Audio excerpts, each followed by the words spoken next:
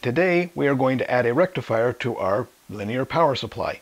In our last video we examined what the transformer does for us. That takes the 117 volts off of the power grid and steps that down to a more reasonable 12 volts for our power supply. I have taped over my primary connections here because I don't need to measure them anymore and there's no need to have the live 117 volts out in the open where I could accidentally touch it. But the 12 volts uh, not really dangerous, I can touch that all I want. If I touch them together, I'll get a little spark, but there's not enough voltage there to really cause us a problem. So let's go back to where we were at the end of the last video and hook up our oscilloscope to the secondary of our transformer. And there is our sine wave. It is uh, 12 volts RMS going to positive 16 volts back to down to about negative 16 volts back up to positive 16 volts, repeating that over and over 60 times a second. But if we look at this with our meter, which I now have set for a maximum of 20 volts DC, and what do we have on the meter? Well, it's set to read DC volts, and because I have pure alternating current, I see nothing. So what I need to do is convert this to DC. And I'm going to do that with a single rectifier diode. I'm going to make a half wave rectifier. This is a 1N4005 diode, which has a 1 amp uh, current rating and a peak inverse voltage of about 600 volts. And I'm going to hook it into the circuit as you see here, just a single diode coming off of the transformer, and I'll go directly into the oscilloscope and see what we get. I will get my positive voltage at the cathode of the diode, which is indicated by this white line right here. So let's take the oscilloscope's red lead and put it on the cathode. And I will use a clip lead to hook up the transformer to the anode. And now we look at the oscilloscope and you see we have removed the negative side of the sine wave. Let's step back a moment and take a look at how the half-wave rectifier works. During the first half of the cycle, the current travels through the primary of the transformer in this direction, and in this transformer it then travels in the secondary in this direction. That makes the current travel through the diode in this direction. This forward biases the diode and it conducts current, and therefore the current goes through the resistor in this direction. So the voltage across the resistor follows the voltage in the primary. During the second half of the cycle, the current travels through the primary of the transformer in this direction. So it attempts to travel through the secondary in this direction, which causes it to attempt to travel through the diode in this direction. Since this reverse biases the diode, no current flows in the secondary circuit, and so we have no current flow through the load. And with no current flow through the load, we cannot have a voltage across it, because to get a voltage we must have both resistance and current. So the voltage across the load during the second part of the cycle is going to be 0 volts. So as the voltage reverses polarity in the primary, we only get one polarity in the secondary. And here we see this cycle repeating over and over.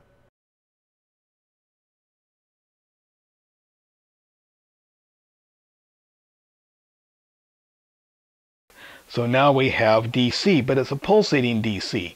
That's okay for light bulbs or maybe motors, but not good for a lot of other electronics. Let's also take a look at this with the meter.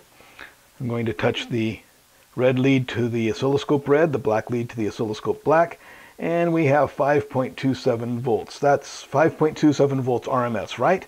No, this is not a sine wave, so this meter can't give us the real RMS value. It's not a true RMS meter. Not really a very meaningful voltage, although it gives us an idea of how much energy might be in this uh, half-wave rectified wave here. So this is okay for a light bulb or a motor, but most electronics is not going to work well with this pulsating DC. So what can we do about that? Well, what we can do is put a filter capacitor across that as I show in the schematic here. What this will do is the capacitor is going to charge to my peak voltage and then with no nothing to discharge it, it can't discharge back through the diode, so it's going to just sit there at the peak voltage. So what I have is an 8000 microfarad capacitor here, and I'm just going to hook that up in parallel with a couple of clip leads. This is an electrolytic capacitor, so it's polarized. Notice the plus marks over here, so I want to put the positive side here, so I'll put the red clip lead there for positive, and let it go ahead and roll if it wants to hook that up to the positive side, the cathode of the diode. And I will take the black lead and hook it up over to the negative side. Now watch what the oscilloscope does when I hook this up. And we see that goes right up to about 16 volts. It goes right up to the peak voltage. Let's take a closer look at that. So you can see that's there's our 15 volts. Here's 0, 5, 10, 15. And there's just about 16 volts up there. So that charged up to the peak voltage and it's just sitting there. So now we have 16 volts DC. So let's zoom out. Now let's take a look at that with the voltmeter and set that right up there. And there we have 16 point, about 16.5 volts, which pretty much agrees with what we have here, about 16, 16.5 volts. Now let's put a little bit of a load on there. I have a 100 ohm rheostat here, and I'm going to hook that in. Just put that in parallel with the capacitor and see what that does for us. I have the white clip lead there. I'm just going to touch the other side to here. Watch what the oscilloscope does. Here we go, 100 ohm load, and well, if you look carefully, you can see the voltage is coming down a little bit, but it's still remaining pretty flat. So our load is bringing our voltage down. That's to be expected. We have an output impedance of our power supply, and when we take our current through that output impedance, we expect to lose some voltage. Now, let's give this thing a little more of a taxing. I'm going to hook this lead to the middle connector here, and let's make that about a 50 ohm load. Now let's see what happens on the oscilloscope. It goes down even further. Let's make it an even bigger load. Let's make it about a 25 ohm load. Uh, now it's not only going down, but look what's happening. It's getting ripply. Let's make that about a 12 ohm load. Don't want to get this too hot. Be careful not to burn anything up there. Ah, yeah, I got lots of ripple there. It's not nice flat DC anymore. So that's what happens when we load that down. So this will work fine if we have a pretty small load and we're not too sensitive to the uh, to the regulation. Uh, if this is a sound circuit or a video circuit, you have to have better regulation, but we have a finished power supply if all you need is a unregulated output. But let's take a look at that ripple again.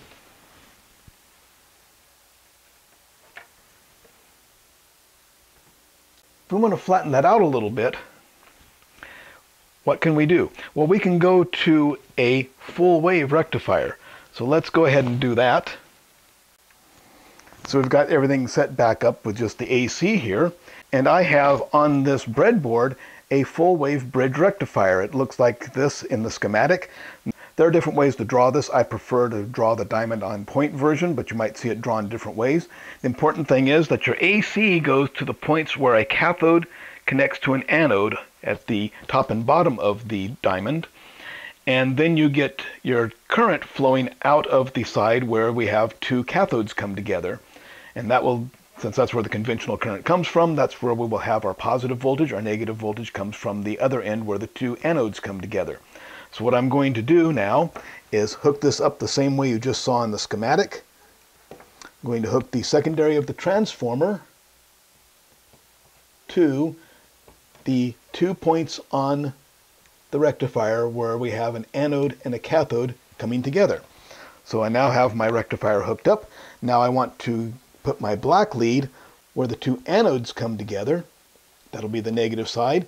And my red lead where the two cathodes come together. That will be my positive side. And now look at the oscilloscope. We have recovered that negative side. Instead of chopping it off, we've flipped it over. Let's step back again and take a look at how the full wave rectifier works. You may see a full wave bridge rectifier drawn differently. I prefer the diamond on point style shown here.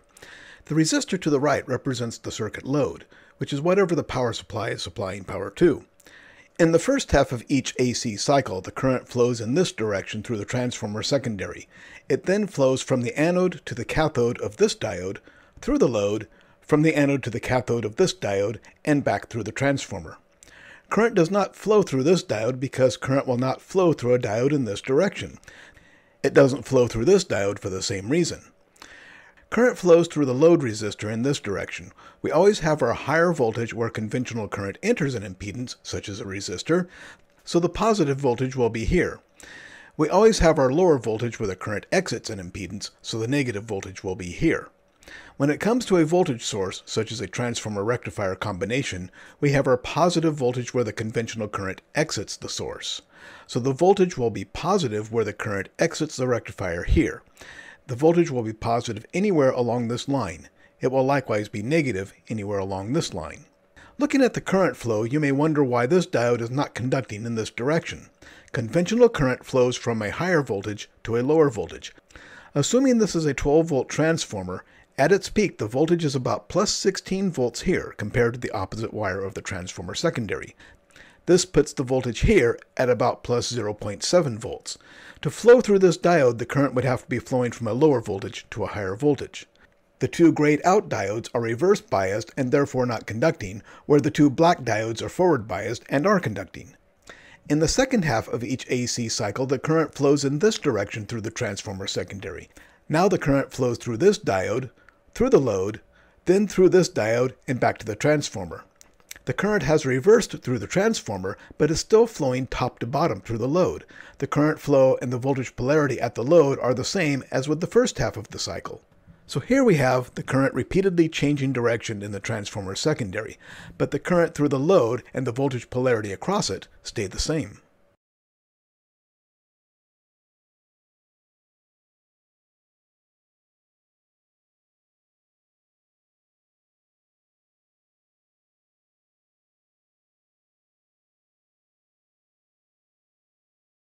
And so now we have twice as much energy in our wave. Let's take a look at the uh, frequency of this.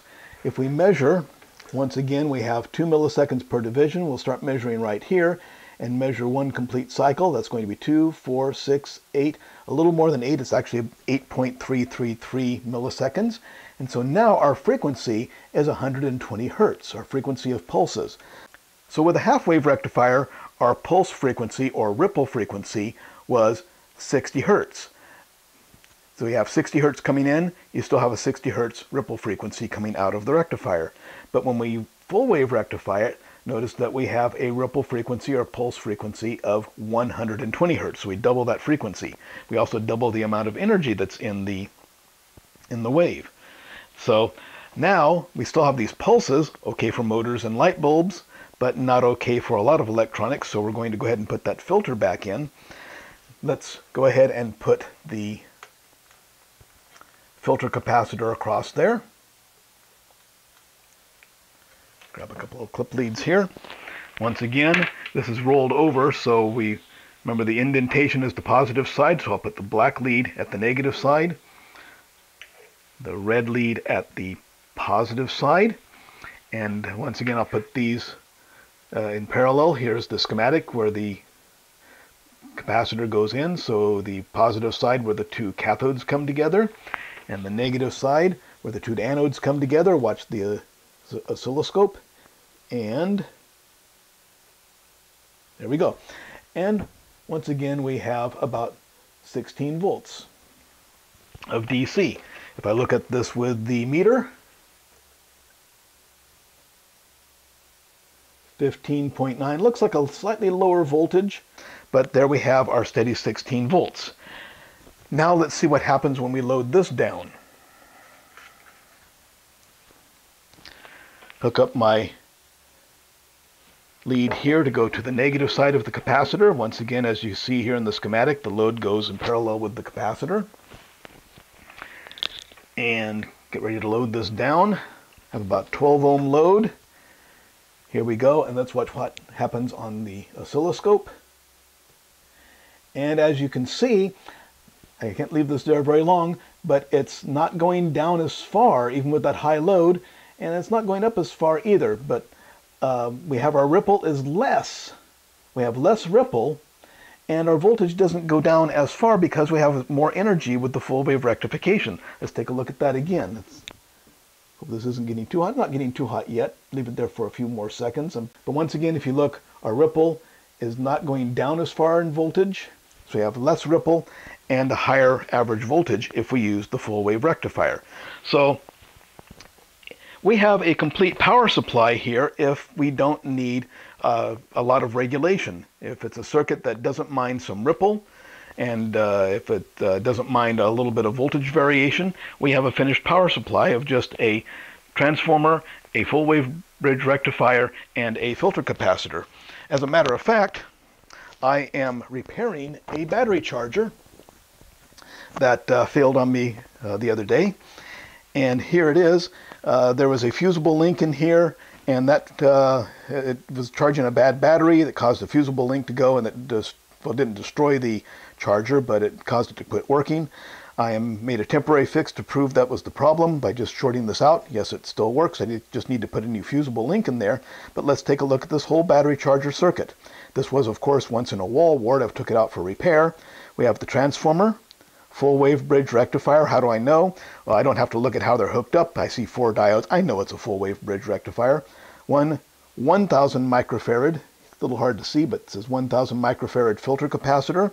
And that's all there was to this. Transformer, full wave bridge rectifier, and a filter capacitor. And that was all it was needed for this battery charger. So if that's all you need, we have a finished power supply. This would be a, a filtered, unregulated DC power supply. So in our next video, what we're going to do is put some regulation in here, but that's uh, for the next video. If you found this video useful and informative, please give me a thumbs up down below. It really helps the channel. And subscribe because that not only informs you when I put new videos up, but it really helps the channel also. And a big thank you to my patrons at Patreon. I could not make these videos without your support. If you want to help me put these videos online and keep real vocational education free at vocademy.net, you can go to patreon slash join slash vocademy and pledge your support. And again, a big thank you to my patrons who make this possible, and a big thank you to everyone for watching.